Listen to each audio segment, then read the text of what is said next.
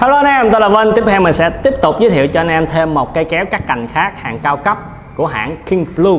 Đây là hàng Trung Quốc sản xuất với chất liệu lưỡi thép được làm từ Nhật và cái model tức là cái, cái kiểu thiết kế là cái kiểu thiết kế của Đức. Thì cái hàng này á chất lượng rất là tốt và mức giá của nó thì mắc hơn tất cả những cái sản phẩm mình đã từng review.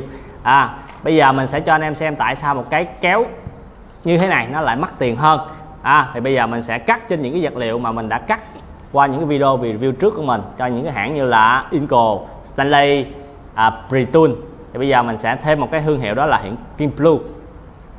Hàng này thì nó chỉ sản xuất à, kéo cắt cành cưa cành à, lưỡi cắt lưỡi mài thôi. Nói chung là rất là hạn chế về cái dòng sản phẩm.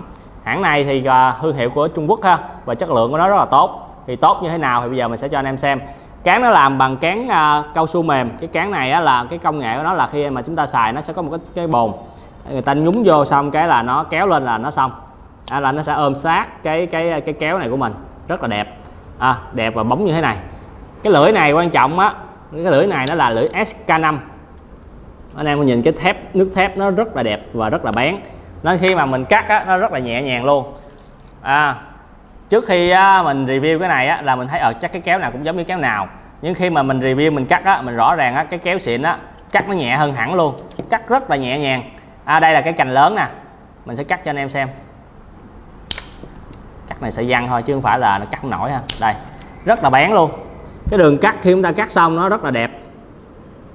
À, anh em có coi những video khách trước của mình sẽ thấy là cái sự khác biệt. Đó mình cắt đây. À.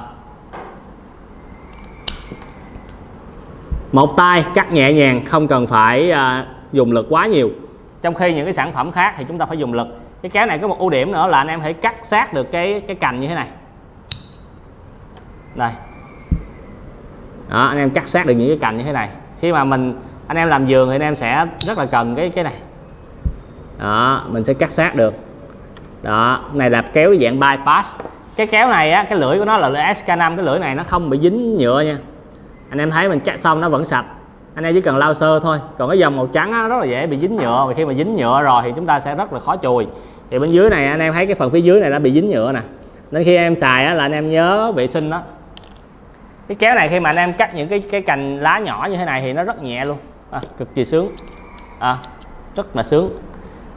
Chỉ có điều cái lò xo này nó làm nhìn không có đẹp thôi. Cái lò xo mà nếu nó làm dạng à, bự hơn thì nhìn nó sướng hơn. Cái này dạng này thì nhìn nó không sướng lắm. Ok cái sản phẩm này thì anh em vui làm xem giá bên dưới tại vì cái hàng này hãng người ta gửi qua cho mình coi mình review thôi chứ mình chưa có biết giá là bao nhiêu nữa. Thì bên dưới mình sẽ để giá cho anh em. Và anh em có nhu cầu mua thì cứ cho mình thông tin số điện thoại. À, sản phẩm này sẽ sớm có mặt trên website của store là một để anh em có thể tự đặt hàng luôn. Rồi nếu anh em là đang có nhu cầu mua một cái kéo cắt cành xịn giá rẻ thì đây là một lựa chọn rất là tốt. Tốt hơn cả những cái sản phẩm mình đã review như của Inco, Truber hay Stanley. Mình khẳng định với em điều đó luôn tại vì mình là người review mình cắt mình cảm nhận được mình biết cái nào xịn hơn cái nào. Ha đương nhiên cái này chắc chắn giá sẽ mắc tiền hơn rồi đó. Thì tùy anh em nếu anh em quyết định mua thì chúng ta phải chịu bộ số tiền nhiều hơn. Các cành trên thị trường thì có rất là nhiều hãng làm rất là nhiều luôn. Bao la bắt ngát. Ha anh em có thể lên uh, Lazada Tiki anh em thấy người ta bán nhiều lắm.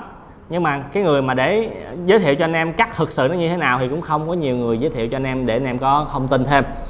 Rồi nếu anh em muốn mua thì hãy đến địa chỉ 234 Bình Thới phường 10 quận 11 thành phố Hồ Chí Minh.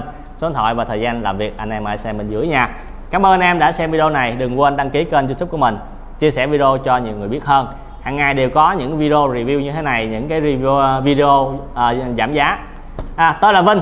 Cảm ơn xin chào tạm biệt và hẹn gặp lại.